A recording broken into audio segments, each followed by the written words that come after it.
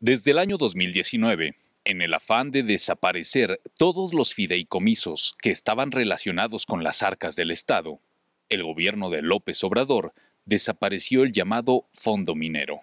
El Fondo Minero era un fideicomiso alimentado con un impuesto especial creado en el año 2014 durante el sexenio de Enrique Peña Nieto. Impuesto que obligaba a las empresas mineras instaladas en el país a pagar además de sus impuestos normales, un extra que serviría para hacer obras y mejorar la calidad de vida en los pueblos mineros, donde están ubicadas las grandes minas de México. Pueblos que, dicho sea de paso, han sido explotados históricamente, sacando de debajo de ellos montañas de oro y plata, sin ningún beneficio para ellos o su gente. Las cámaras de Grupo Televisivo Guanajuato documentaron desde el 2018 como en la capital, el dinero del fondo minero produjo al menos varios caminos y obras de alumbrado público en los pueblos mineros.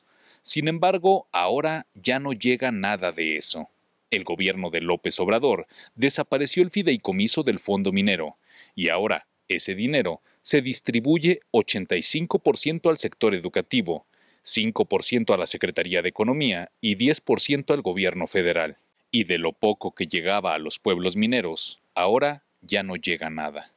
Al respecto cuestionamos a la senadora de Morena por Guanajuato, Antares Vázquez, quien a pesar de las evidencias negó que alguna vez se haya hecho algo con los recursos del fondo minero en Guanajuato, y defendió la desaparición del mismo, argumentando los apoyos económicos que envía López Obrador directo a las familias.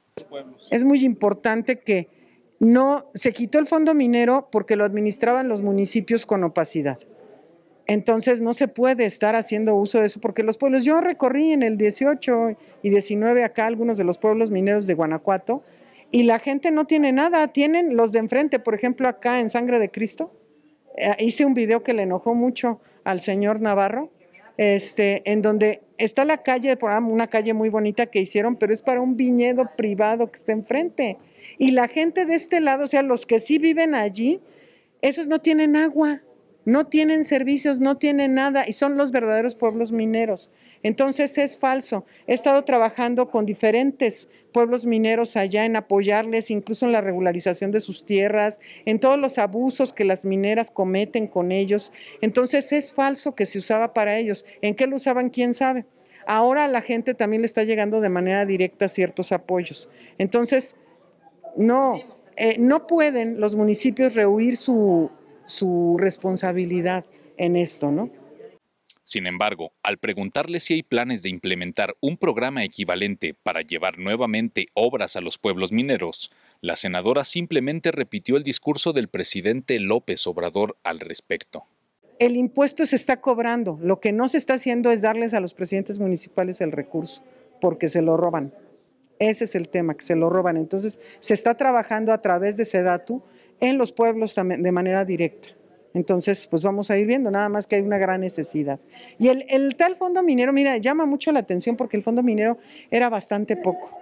Era bastante poco lo que llegaba y ellos hacen mucha, mucho ruido. Está como las estancias infantiles, como los fideicomisos, tantas cosas que eran sus agujeros negros de corrupción y que ahora dicen que no hay.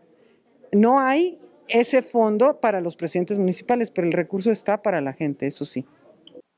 No obstante, por más apoyos que le lleguen a las familias, con ese dinero jamás van a poder pavimentar su calle o poner alumbrado o instalar el drenaje o el agua potable. Obras y acciones que sí se estaban llevando a cabo con el fondo minero, aunque los diputados y senadores de Morena insisten en negarlo.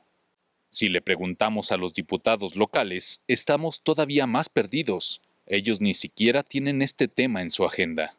Actualmente hay alguna propuesta, porque bueno, aquí en la capital es muy importante la industria de la minería y los pueblos mineros están verdaderamente abandonados desde hace mucho tiempo.